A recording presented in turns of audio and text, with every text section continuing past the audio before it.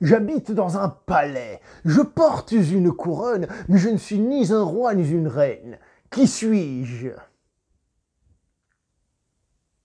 Une dent.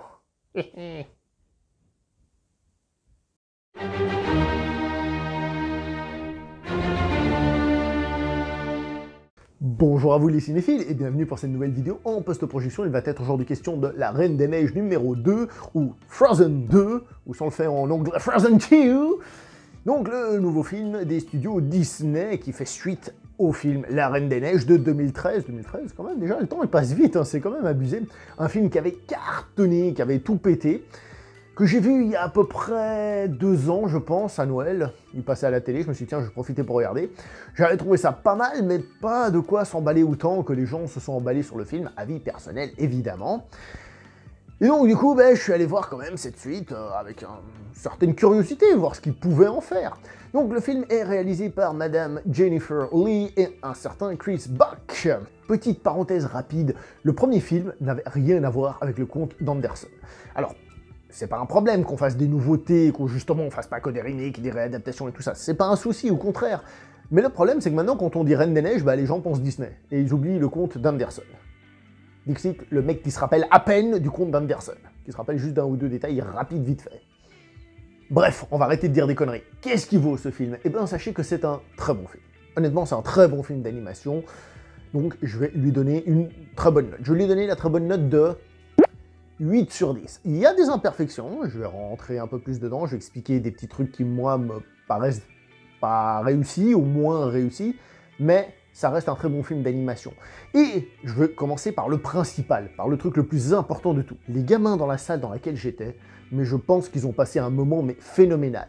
Ça rigolait fort, ça rigolait souvent, et en plus, ça ne parlait pas. C'est-à-dire qu'ils étaient dans le film. Donc le principal, hein, aussi vieux, barbu et tout ce qu'on veut que je sois, c'est que les enfants, dans la salle dans laquelle j'étais, il y avait pas mal d'enfants, parce que je suis allé le voir assez tôt, hein, et ben, ils ont adoré.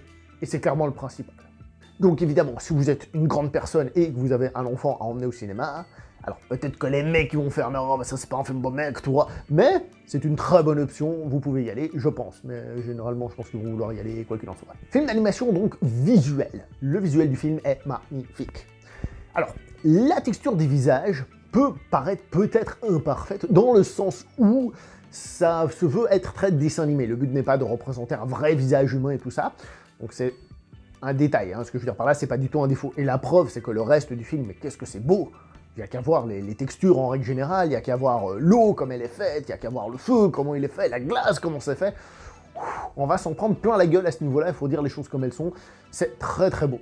Qui plus est, le film, eh ben c'est là qu'on voit que c'est un film d'animation qui a du pognon, c'est qu'il y a plein de détails dans le fond et tout ça, hein. on a même des plans larges comme ça, avec des jolis mouvements de caméra, alors non pas que le film est une réalisation, euh, on va dire, si c'était un film live, une réalisation classique du placement de caméra qui soit spécialement oufissime, mais il se permet des trucs qui sont très très beaux, vraiment euh, très très beaux, des plans lointains et des trucs comme ça qui valent vraiment le détour, donc visuellement, c'est pas qu'on s'attendait à avoir peur, mais ça confirme qu'il n'y a pas à en avoir, c'est très bien, c'est très très bien fait. Voilà. Les chansons du film, hein, parce qu'il y a plein de chansons dans ce film, elles sont aussi très bien. Honnêtement, elles sont très bien. Bon, alors, il n'y en a aucune qui atteint le niveau de libérer, délivrer, mais elles sont quand même vachement bien, et il y en a qui tendent à aller dans cette direction-là.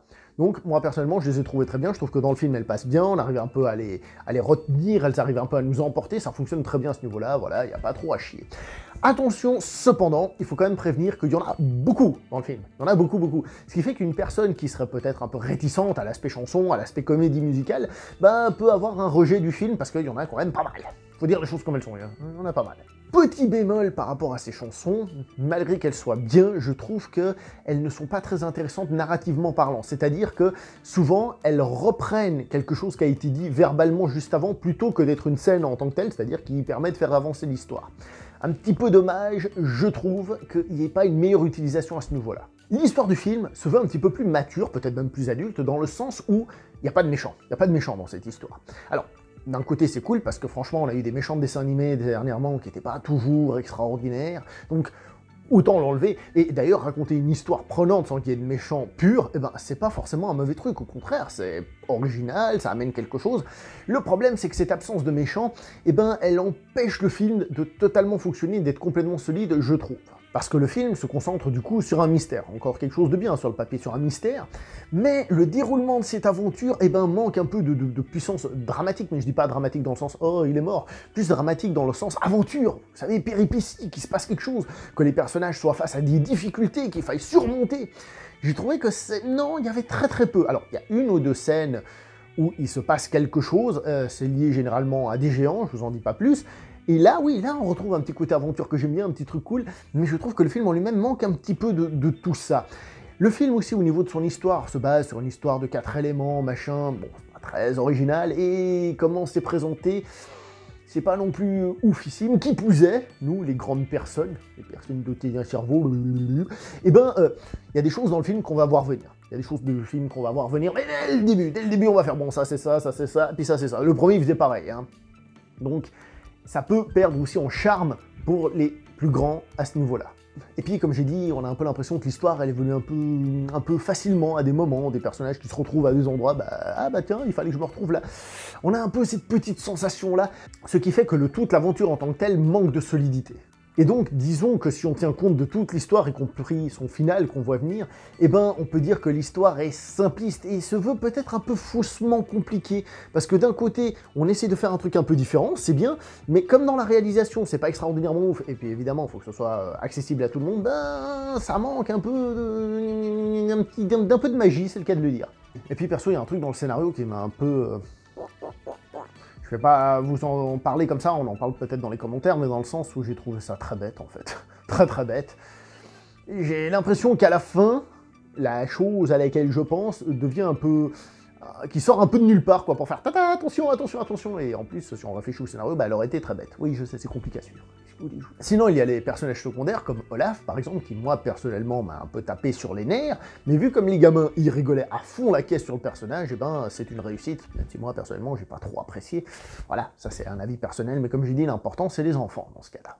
Sinon, on a Monsieur Christophe et son arc narratif, qui est plutôt bien fait, dans le sens où déjà c'est crédible et c'est réaliste, bah oui, parce que les hommes ont aussi ce genre de problème, hein, forcément, donc c'est pas un souci dans le film, je trouve que c'est bien, c'est sympathique. Par contre, on a l'impression vraiment que c'est un peu une, side story, vous savez C'est-à-dire, il y a l'histoire principale et puis lui, il est un peu autour, c'est une, quête euh, annexe, pour parler un peu euh, jeu vidéo, d'accord?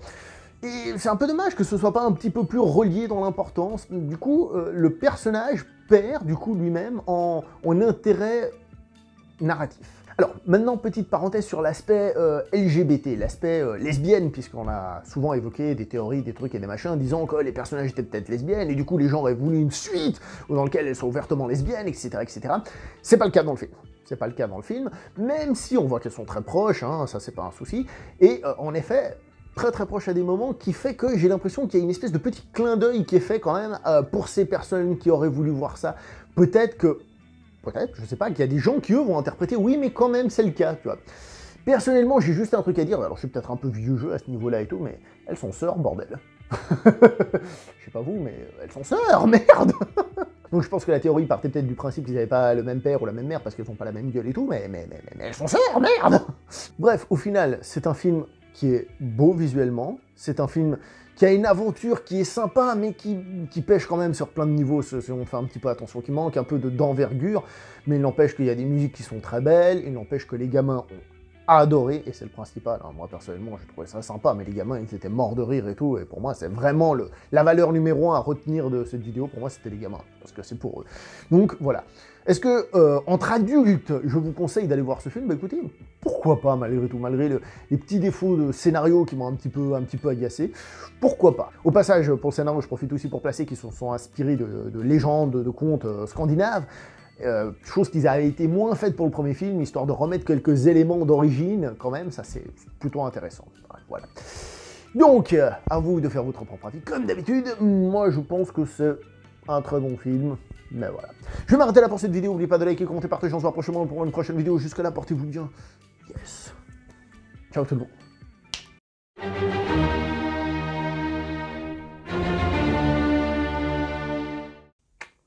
Ah, ça vous laisse de glace que j'arrive à le faire d'un coup.